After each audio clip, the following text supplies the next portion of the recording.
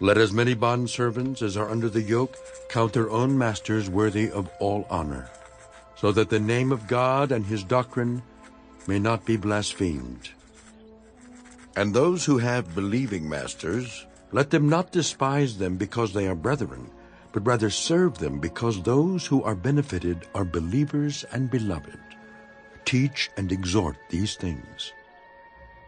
If anyone teaches otherwise and does not consent to wholesome words, even the words of our Lord Jesus Christ, and to the doctrine which accords with godliness, he is proud, knowing nothing, but is obsessed with disputes and arguments over words, from which come envy, strife, reviling, evil suspicions, useless wranglings of men of corrupt minds and destitute of the truth, who suppose that godliness is a means of gain.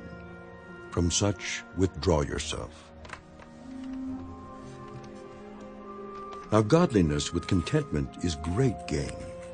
For we brought nothing into this world, and it is certain we can carry nothing out. And having food and clothing, with these we shall be content. But those who desire to be rich fall into temptation and a snare, and into many foolish and harmful lusts which drown men in destruction and perdition.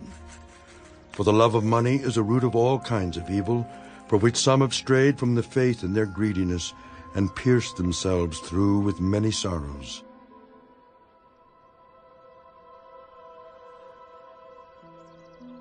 But you, O man of God, flee these things and pursue righteousness, godliness, faith, love, patience, gentleness. Fight the good fight of faith. Lay hold on eternal life, to which you were also called, and have confessed the good confession in the presence of many witnesses.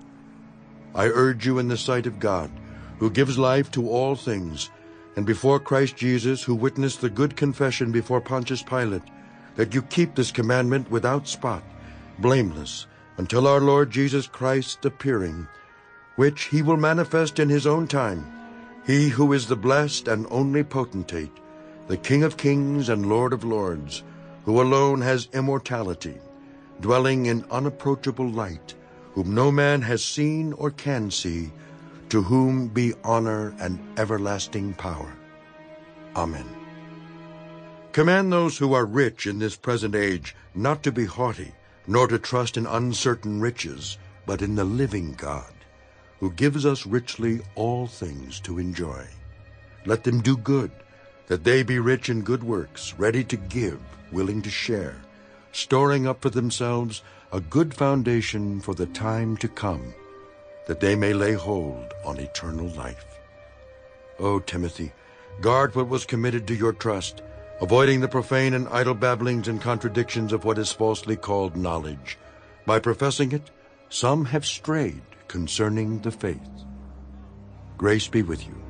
Amen.